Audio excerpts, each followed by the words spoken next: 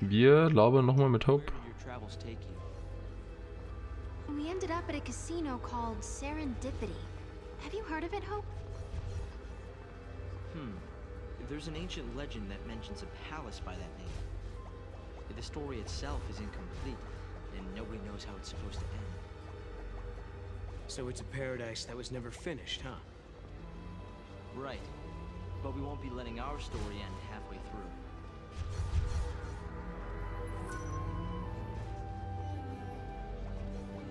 Please hand any graviton cores to Alyssa. Our dream will soon become a reality. Okay, viel mehr hat er uns jetzt nicht mehr zu sagen. Ich probiere es nochmal. Ne, das ist leider schon wieder rum. Ich hätte ihn natürlich gerne ein bisschen mehr gefragt. Aber scheinbar dürfen wir das nicht. Schauen wir, ob Alyssa noch was zu sagen hat. Ah ja, wir haben ja schon Gravitonkerne. Ja, ja, ja, also, cores, Ja, das wissen wir ja bereits. Ich schaue jetzt mal kurz ins Inventar. Wir haben ja schon Gravitonkerne. Oder ist das eher Fragmente? Äh, Graviton, Graviton, Graviton. Wir hatten da auf jeden Fall schon mal ein bisschen was gesammelt, das stimmt. Ähm, die hatten wir auch aus Items bekommen, beziehungsweise aus Kapseln.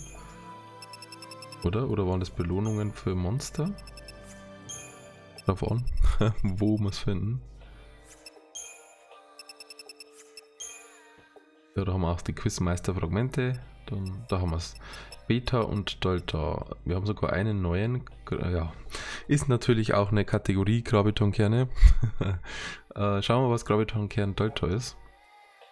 Äh, die Spur des Helden. Das ist also ehrbar die Heimat von Fang und Vanille. Ich hätte nicht gedacht, dass ausgerechnet sie zu Kristall werden und ewig schlafen. Sie haben zwar schon jahrhundertelang geschlafen, bevor wir sie getroffen haben, aber ich kannte sie nur gesund und munter. Um sie zu befreien, muss ich stärker werden, viel stärker, so stark wie damals, als ich eine sie war. Ah ja, und ich dachte, wir... Gut, ich denke mal, den haben wir in Airbar gefunden dann, wenn das so drin steht. Den Beta haben wir gefunden, in, das war echt ein verrückter Traum. Das ganze Gerede über Portale, Artefakte und so weiter habe ich nicht wirklich kapiert. Aber ich werde den Teufel tun und Lightning widersprechen. Meine Reise wird wohl etwas länger dauern, als ich gedacht hatte, aber Sarah und Cadeau werden das schon verstehen, oder? Bei ihrem Snow, oder? Ach, keine Ahnung. Wir haben auf jeden Fall zwei Fragmente. Und ich schaue mal in die Rezeption oder zur Rezeption zurück, bevor wir einen Gravitonkern abgeben. Ich will erstmal hören, was die Rezeption uns da zu sagen hat. Ah, grüß dich. Hallöchen. Alyssa told me all about you. You're helping us find the graviton cores. Isn't that right? And perfect timing. I just got an update with the latest info. This ore, is it really that valuable? Oh, yes. The Academy have sent survey teams all over the place. They've searched everywhere, but they haven't found a shard of the stuff. Hmm. But according to this latest data, our scientists used resonance imaging to identify a possible deposit. So we do have a defined location where a team can start looking. But it's just... It's just what? Well, it's kind of in a different time? Sounds like a job for us, all right. Here, show me that data.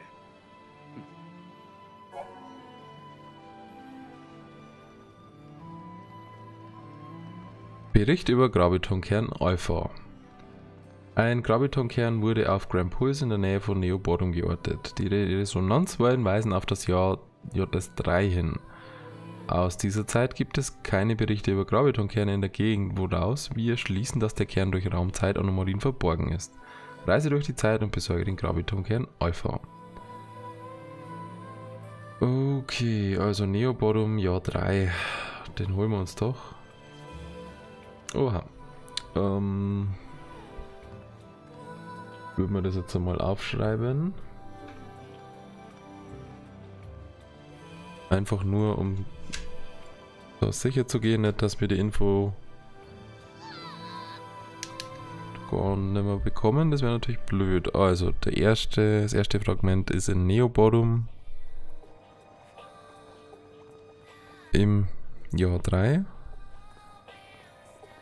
Dann hätten wir ein Grabitonkern wurde auf Grand Pulse in dem Dorf Oerba gefunden. Zweites ist Oerba. Welche, welche ist denn das? Gamma ist das. Also das ist Alpha. Das ist Gamma. Äh, Oerba, die Resonanzwellen weisen auf das Jahr 200 hin, also JS 200. Zu der Zeit stand das Gebiet unter Aufsicht der Akademie, aber vermutlich liegt der Kern um einen Platz, der für Menschen nur schwer zu erreichen ist. Reise durch die Zeit und besorge den Graviton-Kern Gamma. Dann hätten wir Bericht über Gravitonkern Epsilon. Ein Gravitonkern wurde auf Grand Pulse im Yashas Massiv geordnet. Die Resonanzwellen weisen auf das Jahr JS 100 hin. Jawohl, damit dürfen wir mal wieder ins Yashas Massiv zurück. Äh, Im JS 100. Das ist dann Epsilon. Epsilon. Okay, und dann fehlen eigentlich nur noch zwei. Gravitonkern Zeta. Ein Gravitonkern wurde auf Grand Pulse in dem Dorf Oerba geortet. Die Resonanzwellen weisen auf das Jahr JS 400 hin. Also wieder Oerba, diesmal im ja, 400. Ähm, das ist fast in unserer Zeit, aber ein starker Paradoxeffekt hat das gesamte Gebiet erfasst, weshalb unsere Forscher ihre Suche abbrechen mussten. Vielleicht gelangt ihr durch irgendein Portal in eine andere Zeit in die Nähe des Gravitonkerns. Reist durch die Zeit und besorgt den Gravitonkern Zeta. Bericht über Eta. Ein Gravitonkern wurde in Cocoon im Auenwald von Sunless geortet. Jawohl, jetzt dürfen wir da auch nochmal hin. So, das ist also Sunless im Jahr 400.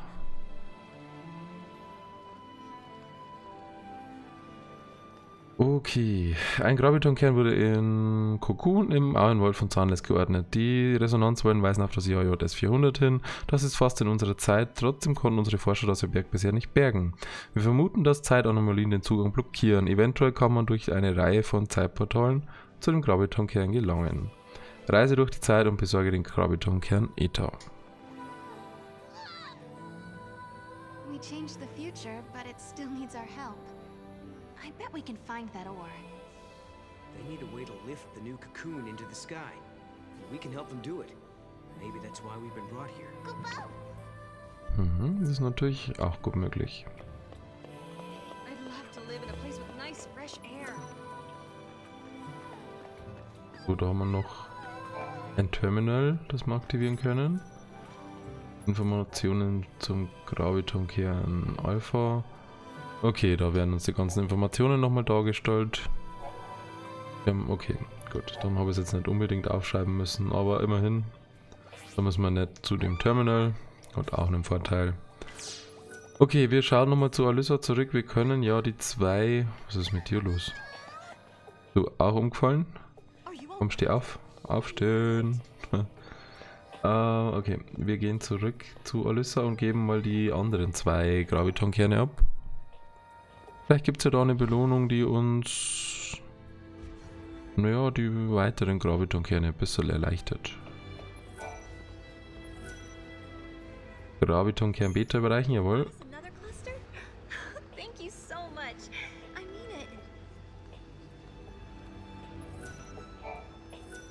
Okay, und Stolter überreichen wir auch gleich.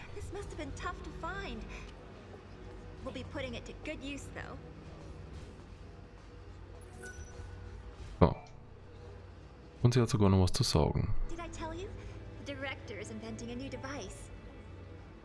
The Academy has been making progress on the development of a paradox weapon. A very powerful weapon that feeds on time distorting energies. Using a paradox against itself, huh? Exactly. There's a possibility we may come up against the man who appears in the Oracle Drive recordings. The war has already begun, and we're fighting to protect the future itself. A battle to the end against Caius. But, Director, didn't you say you were missing a certain material? A chaos crystal. It's a solidified chunk of paradox energy, but according to the data, it doesn't exist in this time period. Well, hey, you've still got us. And we've got the Historia Crux. I knew I could count on you. Once you've found the crystal, I can build you a prototype.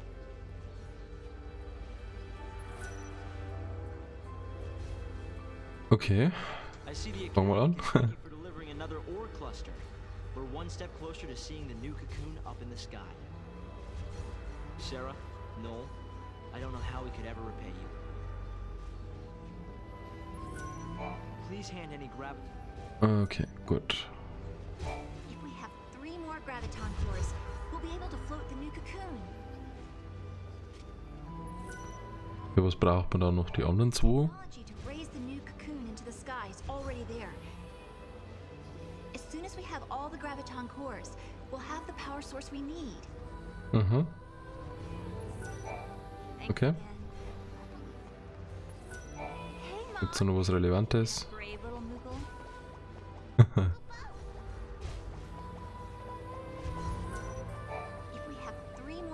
Okay. Gut, das wiederholt sich jetzt noch äh, die ganze Zeit, also gibt es nichts Relevantes mehr für uns. Okay, gut, ja, dann schauen wir nochmal kurz da raus. Da vorne eigentlich auch ein Quiz, ein Quiz-Terminal.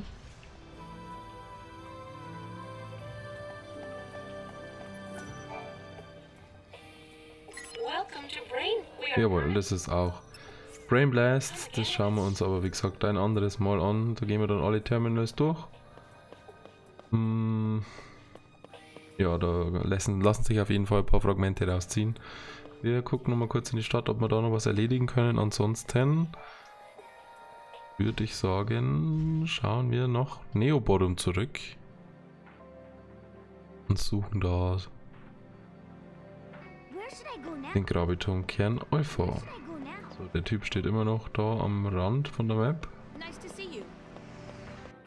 Ansonsten. Ansonsten hat sich jetzt dann nichts weiter verändert. Von dem her gehen wir in die Chronosphäre zurück.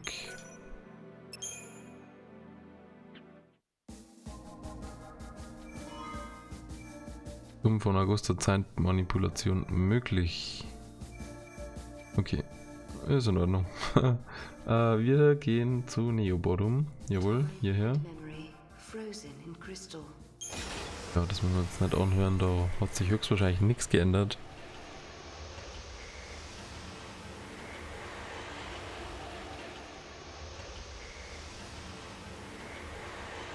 Dann bin ich mal gespannt, was hier den Grabetonkern gibt. Vielleicht muss man auch noch...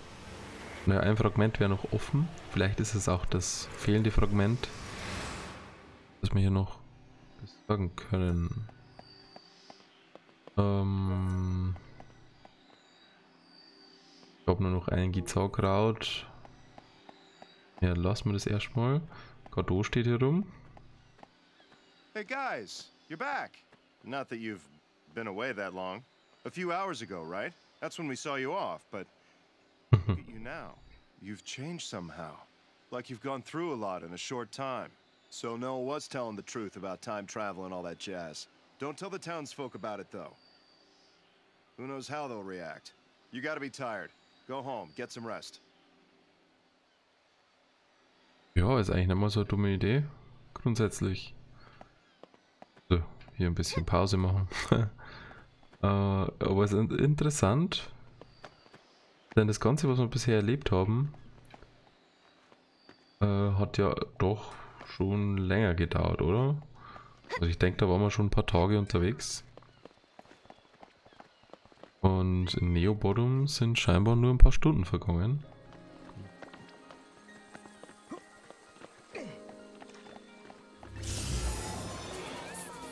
Ja, die Kämpfe, glaube ich, können wir ignorieren. Die sind höchstwahrscheinlich nicht stärker geworden hier, die Monster.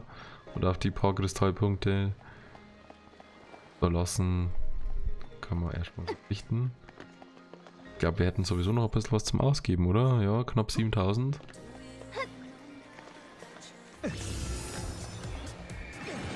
Da gewesen.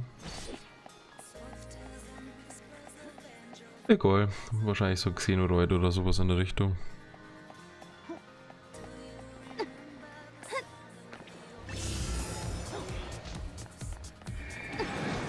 Ja, wenn die immer hinter uns spawnen, dann ist doch das in Ordnung. dann können wir uns das Chocobo erstmal sparen. Ja, da ist ja schon wieder der Godot. Mensch. You guys are still alive. Slightly tattered, but alive. At least the journey's educational. ja, ja.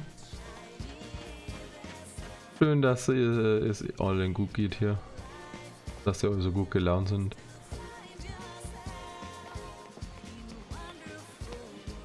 Noel, du stehst im Weg. Du, da hätten wir auch noch einen, mir fällt der Name nicht ein, ist auf jeden Fall nicht You, oder? Sondern, keine Ahnung. Marky, genau. Nö, momentan nicht, also du kannst einen Graviton-Kern holen. So.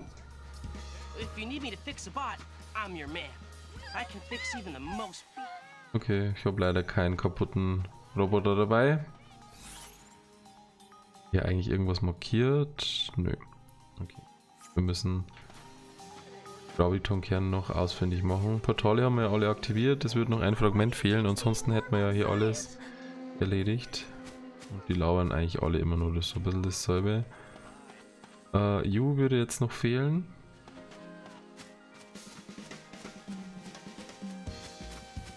Und ah, da haben wir auch noch jemanden. Hallöchen. You tend to overthink things, Sarah, but we're here if you need to talk. And that okay. goes for Noel too, of course. Okay, okay, okay. Da hat sich also nichts geändert. Wir sollen uns ausruhen, hat Godot gesagt. Können wir das irgendwie machen? Im Spiegel nichts mehr raus. Wir können jetzt auch nicht irgendwie schlafen im Bett oder so. Uns auszuruhen.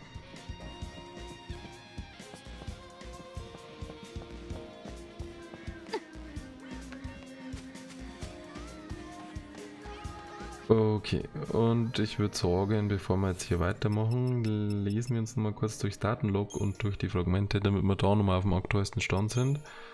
Äh, und zwar gibt es einmal das Proto-VSC-Projekt aus dem Akademie-Datennetz. Das Proto-VSC-Projekt wurde im Jahr 13 unter der Leitung der Akademie begonnen.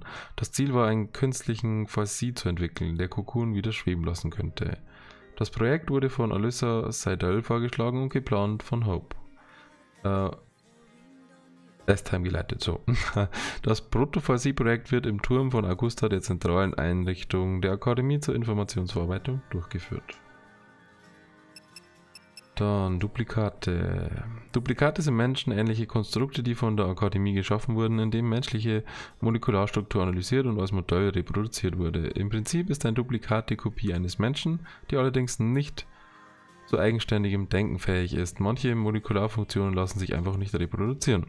Obwohl sie physische Körper besitzen und es militärische Modelle gibt, sind Duplikate eher so etwas wie feste dreidimensionale Abbildungen. Deshalb können Duplikate nicht vom Netzwerk getrennt existieren. Zeitkapsel. Die Zeitkapsel ist eine Maschine, die von Alyssa Seidel entworfen wurde und eine eingeschränkte Form der äh, Zeitreise ermöglicht. Die Kapsel erzeugt ein kräftiges Gravitationsfeld, durch das der Zeitfluss stark verlangsamt wird. Das hat zur Folge, dass bei Verstreichen eines Tages in der Kapsel außerhalb mehrere Jahrhunderte vergehen. Dadurch werden die Insassen der Kapsel in die Zukunft katapultiert. Ja, das ist schon heftig. Und so wie Alyssa das erzählt hat, ähm, natürlich weiß er jetzt, wie wir uns dabei fühlen, wenn wir Zeitreisen machen. Allerdings haben wir halt die Möglichkeit, in der Zeit wieder zurückzureisen. Wie jetzt hier im Beispiel, wir sind jetzt wieder in Neobottom im Jahr 3. Ähm, sind aber scheinbar so ein bisschen gealtert und natürlich auch relativ fertig von der Reise. Äh, aber wir haben immerhin die Möglichkeit wieder zurückzukehren. Das was Alyssa und Hope jetzt leider nicht haben. Die sitzen jetzt im Jahr 400 fest. Und naja, vielleicht können sie nochmal so, ein, so eine Kapsel ähm, kreieren, mit dem sie halt das Gravitationsfeld äh, ja, wieder aktivieren können, um den Zeitfluss wieder ein bisschen zu verlangsamen in der Kapsel. Aber dennoch gibt es nur eine Richtung, also es geht nur nach vorne, nicht mehr nach hinten, scheinbar. Äh, okay, hier gibt es noch eine zweite Seite. Allerdings kann man mit der Zeitkapsel nicht zurück in die Vergangenheit reisen. Ja, genau, das ist das, was ich gemeint habe. Außerdem besteht die Gefahr, dass die Lebenserhaltungssysteme ausfallen können. Daher ist die Zeitkapsel noch als Prototyp anzusehen, der in weiteren Tests verbessert werden muss.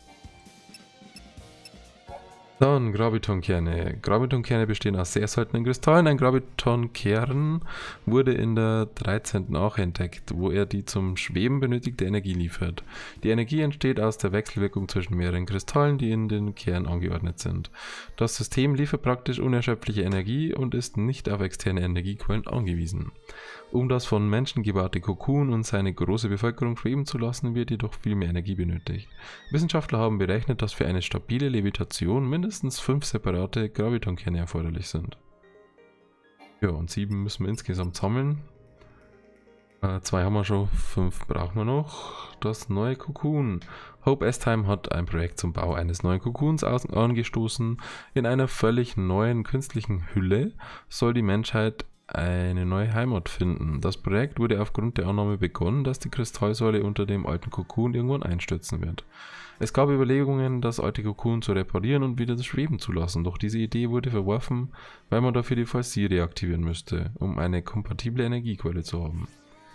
Die Konstruktion des künstlichen Kokons begann im Jahr 10 und die Fertigstellung ist für das Jahr 500 geplant.